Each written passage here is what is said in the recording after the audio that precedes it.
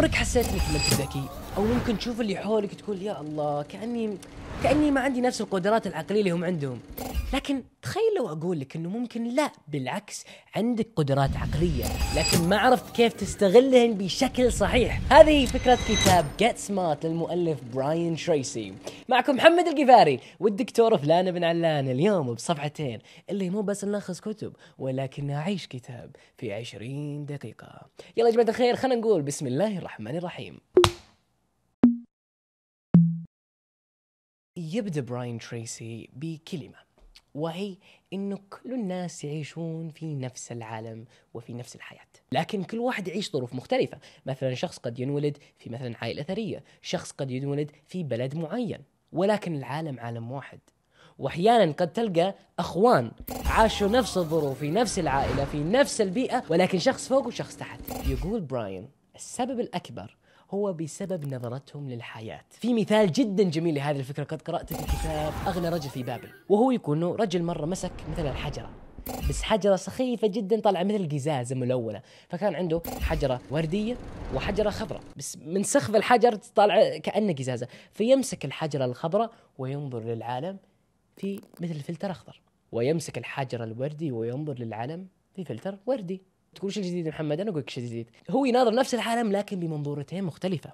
يقصد هنا المؤلف وكذلك شو يقصد براين إنه قد نعيش نفس الظروف في نفس المكان ولكن بسبب نظرتنا للحياة وقدراتنا قد يختلف النتائج. وأكثر وأهم وأفضل شيء تسوي بعد توكل على الله سبحانه وتعالى اللي تقدر تطبقها لتغيير حياتك هي نفس الحاجة اللي قاداء الدول يستعملونها ورؤساء الشركات وكل ناجح في الحياة والتاريخ أستعمل نفس هذه الفكرة وهذه فكرة جدا مهمة وهي التخطيط أو ممكن تقدر تقول الأهداف وجود الأهداف. تدرون أنه ما يقارب إلا 10% من المجتمع عندهم أهداف ولا بعد بزيدكم شيء ثاني.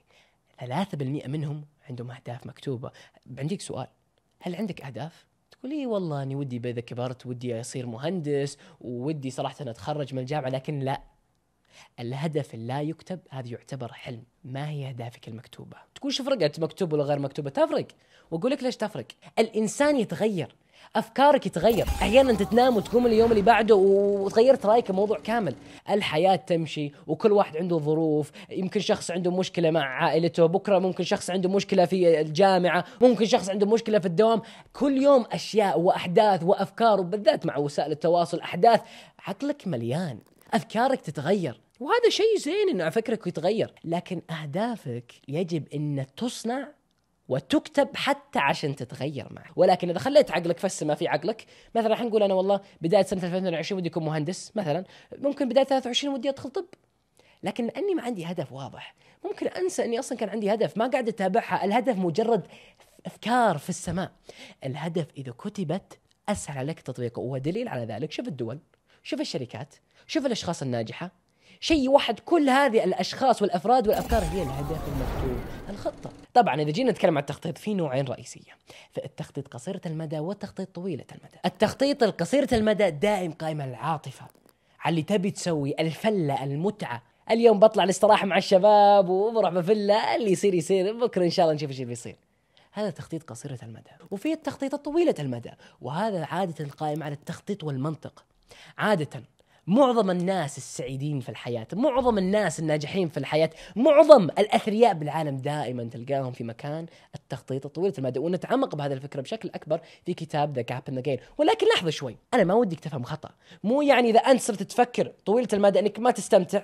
لا لكن تفضل التخطيط للمستقبل أكثر من المتعة اليومية. عادي الإنسان يجب أن يستمتع. مو أفضل أنك تستمتع لا الإنسان يجب أن يستمتع. صحتك العقلية صحتك النفسية مستحيل تمشي إذا أنت ما, ما قاعد تستمتع في الحياة.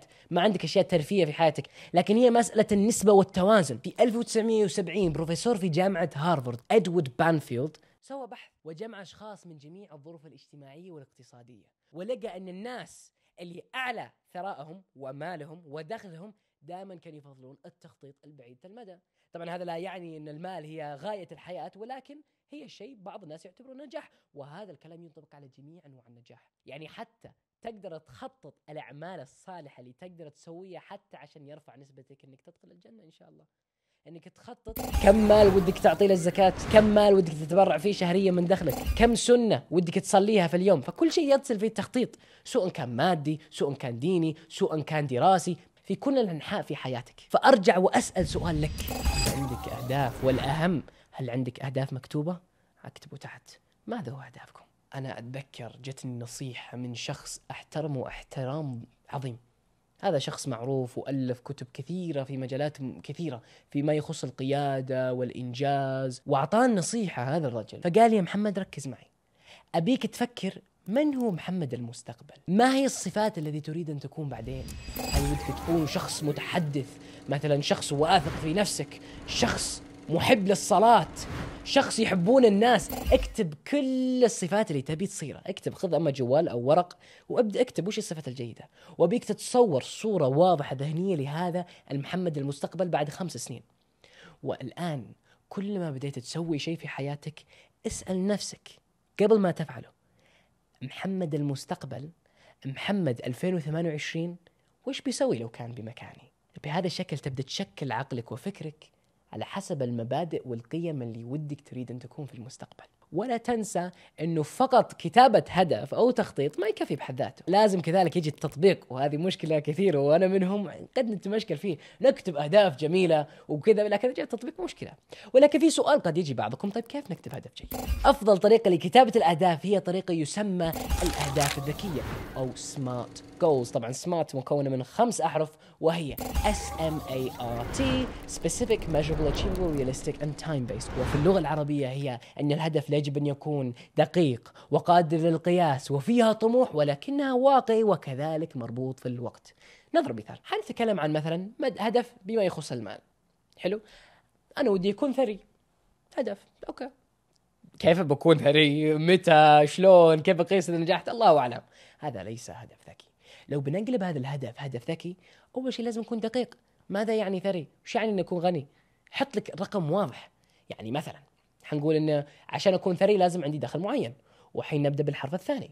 وهو قابل للقياس هل أقدر أقيس هذا الهدف؟ وش أنا أقصد بالقياس؟ يعني لو مثلا راحت سنة هل أنا حققت الهدف؟ وكيف أعرف؟ فمثلا حنقول هدفي إني أكون ثري إني مثلا بعد خمس سنين ودي دخلي الشهري يكون 10000 ريال. okay مو شين. لكن نروح الحين الحرف الثاني إنه لازم الهدف يكون فيها طموح. مو بس 10000 ريال بالعكس. عشان أكون ثري أنه أبي يكون دخلي الشهري 200000 ريال. وثم نروح للحرف الرابع. لازم نكون واقعي.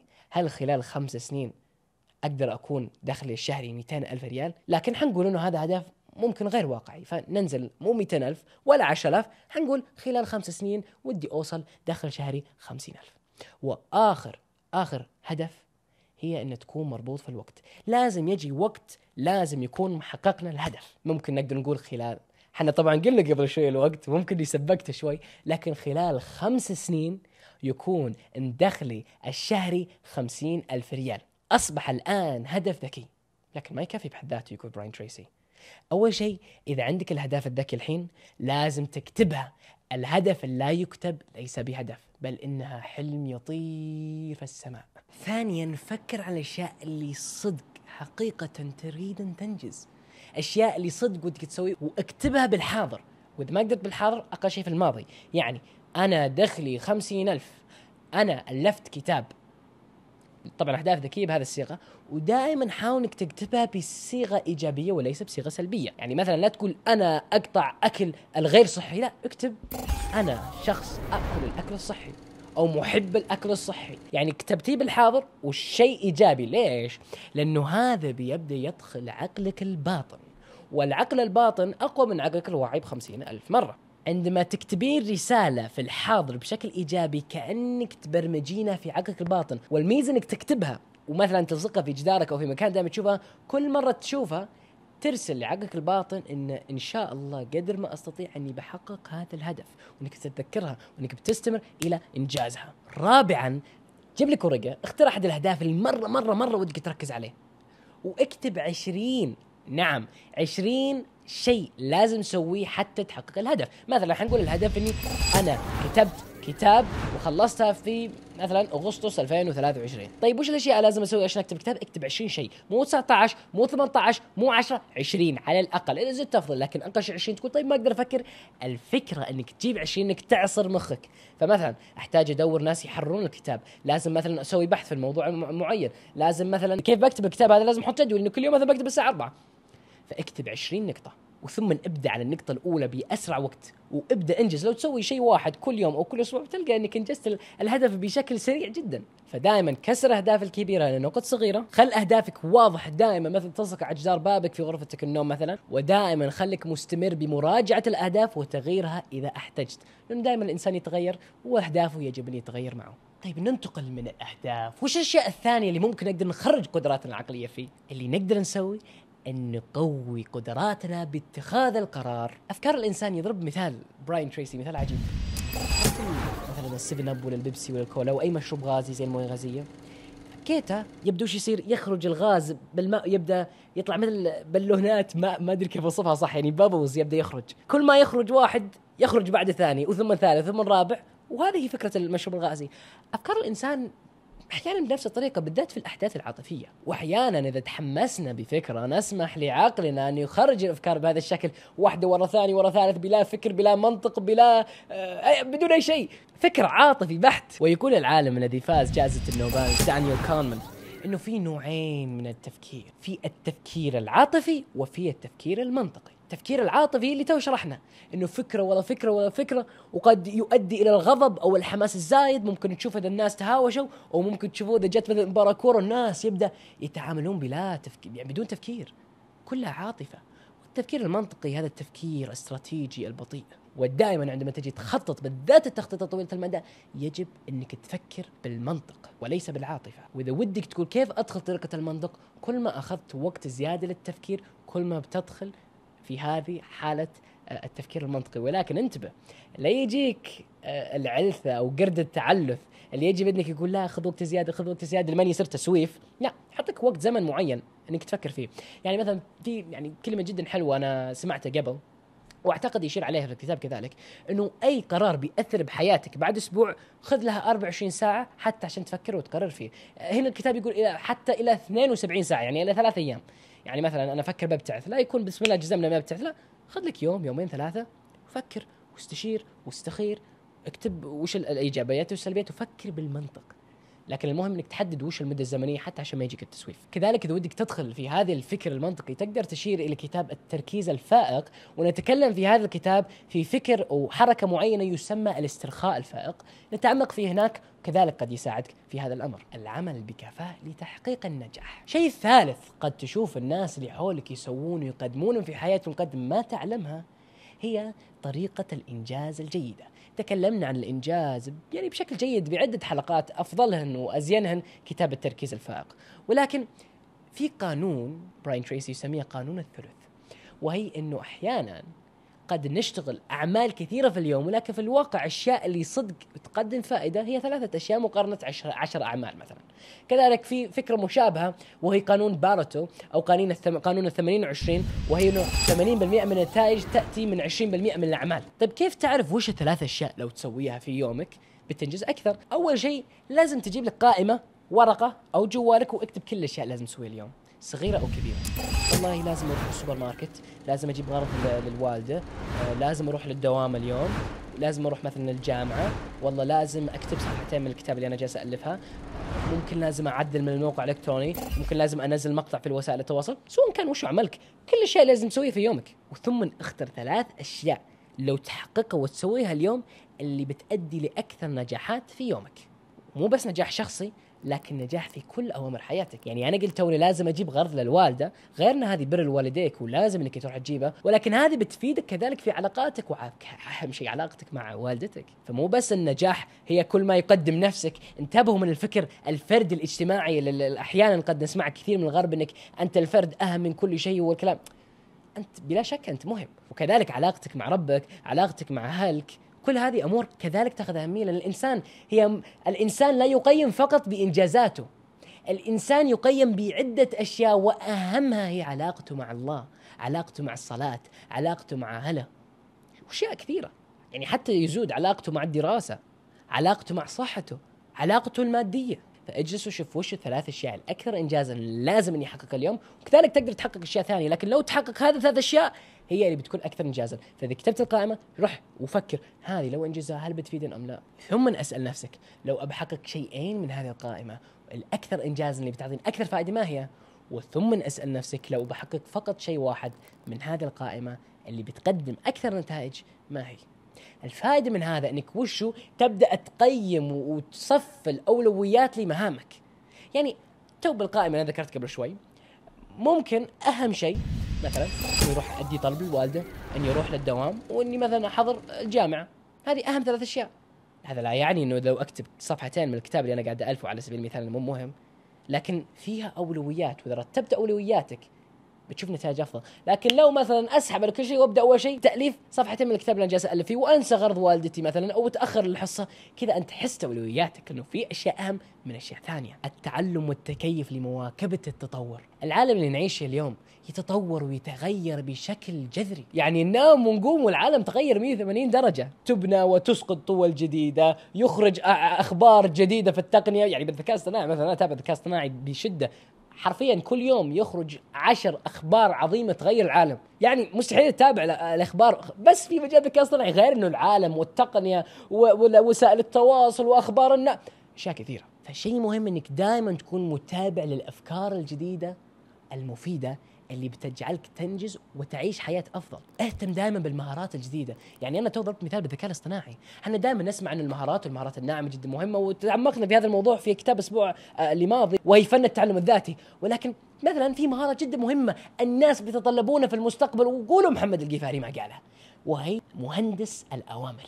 وتحديدا مهندس أوامر الذكاء الاصطناعي. هذا مهارة جديدة قليل يعرفون عنها. لكن حسب اهتمامي وخبرتي في مجال الذكاء الاصطناعي وتعمقي فيه كثير بدي يتكلمون عن هذا الأمر. وهي قدرتك على المحادثة مع الذكاء الاصطناعي وإخراج الفائدة منه إن الذكاء الاصطناعي زي الإنسان أنت قد ما تقدر تأمر منه بيعطيك نتيجة. يعني لو طفل يكلم الذكاء الاصطناعي بيرد له مثل الطفل والعاقل اللي يتكلم مع الذكاء الاصطناعي بيرد له كما عاقل والدكتور والمفلسف والمهندس كل الأفكار دي تنطبق بنفس الشكل. فإنك تتعلم مثلا مهارة أو هندسة الأوامر هذه مهارة جدا مفيدة. وما تقدر تتعلم إلا مع متابعة الجديد. دائما إنك تجعل نفسك بارز في مجالك. يعني أنت في مجال أو قطع معين دائما حاول تطور نفسك فيه. أنت في مجال مثلا القانون. كل الناس محامين. لكن إنك تطور نفسك إنك تقرأ في كتب الناس ما يقرونها إنك تحدث نفسك بأمور الناس ما يحدثون فيهم وإنك تخصص وتطور نفسك هذا بيميزك على بقية الناس. ولو ودك تتعمق وتقرأ أكثر في هذا الموضوع سويت حلقة كاملة يتكلم عن هذا في كتاب فكر مرة أخرى. يتكلم إنك لازم تشكلي أفكارك حتى إنك تطورها. طبعا أفكارك العلمية وليس أفكارك العقدية. وإن كذلك لازم إنك تكون قدر ما تستطيع اجتماعي حتى لو ما كنت اجتماعي إنك تحاول تحتك في ناس في مجالك تتعلم منهم. وبهذا الشكل تطور فكرك. فأنصحكم روحوا شوفوا كتاب فكر مرة أخرى. الابتكار والتفكير الإبداعي. الابتكار والإبداع شيء أساسي في الحياة. حتى مو بس من ناحية إنجاز أو من ناحية ذكاء من ناحية سعادة في الحياة.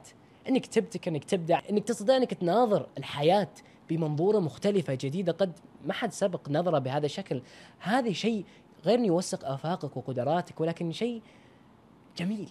لكن التفكير الإبداعي تحتاج إنك تمشي بمخاطرة. يجب إنك تطيح يجب إنك تسوي إخطاء. مستحيل أحد يبتكر أو يبدع بدون ما يخطي لأنه من هذا الإخطاء سوف تخرج الأفكار الجميلة واللطيفة. أنا حاولت إني أخرج برنامج مثل صفحتين اللي تتابعونه من أربع سنين. أول ما بدأت في مجال تلخيص الكتب كان في 2019 كنت ألخص الكتب في سناب شات كنت أجلس في السناب وأقول السلام عليكم وهذا كتاب فلاني وما أدري إيش وممكن أقدر اشغل لكم مقطع إذا لقيت اللي يتابع على اليوتيوب يعني ممكن يقدر يشوفه. لكن كانت شينة ولا حصلت نتائج. وحاولت مرة أخرى في 2020 وحاولت مرة أخرى في 2021 أستخدم التيك توك وإني ألخص كتب ولكن مرة ثانية ما نجحت. ما نجحت إلا لمن حاولت وحاولت وأخطأت واستمريت وحاولت وأخطأت وابتكرت إني جيت لليوتيوب وجبت الدكتور فلان معلان بهذه الطريقة بهذه التلخيصة مع هذا الفريق مع كل الأمور حلوة. ودائما طبعا أحمد ربي وأحمد جميع الفريق اللي يساعدونا في صفحتين من معدة الحلقة الاء إلى المونتيرا المبدعه ريم إلى مدير القناة الإبداعي الأستاذ أحمد وكثير من الفريق المتبقين اللي بدونهم ما أقدر أني أنتج هذه الحلقات بهذا الجودة بهذه الاستمرارية. لكن نرجع للفكر الإبداعي لا تخاف إنك تخطي. يعني في دائما طريقة جميلة ودك أفكار كثير إنك تجلس أما لحالك أو مع فريق وتبدأ تجدع أفكار شينة زينة واكتب اكتب اكتب اكتب اكتب اكتب, اكتب. أي شيء. خرج عقلك. خرج كل الافكار من عقلك. ثم ممكن تحصل فكرة جيدة منها. لكن أنت بانك ما تتخوف هل يصلح أن يقول الفكرة ولا لا. لأن بهذه الحالة قد يقل عدة الأفكار اللي ممكن تقدمها. وكذلك إذا عندك مشاكل اكسر المشاكل إلى قطع صغيرة وحاول تحل كل قطعة قطعة قطعة لما تحل المشكلة باكملها إذا أنتم تبون كتاب يتكلم عن الفكر الإبداعي والابتكار علموني تحت في التعليقات. تجنب التفكير الميكانيكي. وهذه آخر فكرة بنلتقي ونتحدث فيه في حلقتنا اليوم. لأن التفكير الميكانيكي يحدك يوقفك يحجر ويخنق الإبداع والابتكار ولا يسمح لك التعلم بسهولة وسلاسة. يجب إنك تفضل وتحاول إنك تفكر بشكل إبداعي بشكل ابتكاري ثقف نفسك تعلم اقرأ كتب شاهد ملخصات الكتب. وأفضل طريقة إنك تخرج من المكان اللي أنت مرتاح فيه التفكير الميكانيكي إنك تسأل نفسك سؤال. لو أتت لي الفرصة إني أرجع في الزمن وأعيد شيء قد سويته كيف بسويها؟ وهل برجع؟ يعني مثلا حنقول أنا أرجع قبل سنة لمثلا كتاب معين أنا ألفته. لو أرجع قبل سنة كيف لو بعيد؟ تأليفها. وش أشياء ما عجبتني؟ ليتني غيرته؟ وهل صدق أبرجع أم لا؟ طبعا في هذا العالم الافتراضي. بهذا الشكل تساعد نفسك إنك تكسر هذا التفكير الميكانيكي اللي واحد اثنين ثلاثة أربعة اثنين زائد اثنين أربعة وتبدأ تدخل في عالم الإبداع والابتكار. أهم شيء إنك لا تتندم على الماضي. اللي راح راح. أهم شيء إنك تجعل المستقبل أفضل مما سبق. وأعيد وأكرر. لازم إنك تخطي. لازم إنه الأشياء اللي بتسويها شوف أنا دائما إذا جاي أي واحد أشتغل معاه في مشاريع بما يخص الإبداع زي المقاطع زي القنوات وكل الأمور هذه أنا أعطيه سبحان الله أنا كنت أكلم أحد المنترين عندنا يعني رجل صراحة مبدع آه الأخ الحبيب العزيز علينا عبد الرحمن. فكنت أكلم عبد الرحمن وقلت له 90% من الأفكار اللي بتقدم لي ترى شينة غير مقبولة ولا تستساغ والناس بيضحكون عليه. لكن العشرة بالمئة من الأفكار اللي بتقدم لي الحين ترى بتكون إبداعية ورهيبة ومستحيل تخرج مثلها أحد ولا بعد ألف سنة. أنا بوضح له أنه كثير من الأفكار اللي أنت بتجيبها ما عجبني لكن إذا حاولت واشتغلت وعصرت عقلك بتلقى أفكار إبداعية جميلة داخل الأفكار اللي بتقدم لي إياها. وهذا شيء طبيعي وهذا شيء لازم تقبلها ودائما دائما آخر شيء. لا تركز على المشاكل أكثر من إنك تركز على حلول المشاكل. عندك مشكلة خلاص طيب كل الناس عنده مشاكل. لا تجي تولون عندي مشكلة ما ليش اسمح لنفسك يوم. صح وحزن واللي تبي واشتكي. لكن بعد 24 ساعة بعد يوم خلاص وقف اقطع ابدأ. كيف أحل هذه المشكلة؟ وركز فقط في الحلول. المشكلة كلنا عنده مشاكل لكن مو الكل عندهم حلول. لمشاكل الناس وحتى لمشاكلك. ولكن هذا كتاب جيت سمارت للمؤلف براين تريسي أنا كنت محمد القفاري وهذا الدكتور فلان بن علان اليوم بصفحتين اللي مو بس نلخص كتب ولكن نعيش كتاب في 20 دقيقة. لا تنسون تعلقون تحت وأعطونا أفكاركم حنا نحب نقرأ تعليقاتكم ولا تنسوا تشاركونا في server Discord جديد فتحناه. نعم يا جماعة الخير اللي, اللي يتابعونا في البودكاست أو في قناه اليوتيوب تقدر تحصلون الرابط في وصف الحلقة. فالله يحييكم يا جماعة الخير. خلينا نسمع ارائكم علقوا سلموا علينا ونشوفكم في الحلقة القادمة. لكن لا تنسون الشيك لهذه الحلقة. هذا الشيك لحلقة اليوم. الرسالة هي الأهداف الأهداف والأهداف. يا الله. هذا شيكم ولا تنسوا تصرفونه في بنككم العقلي. يلا يا جماعة مع السلامة.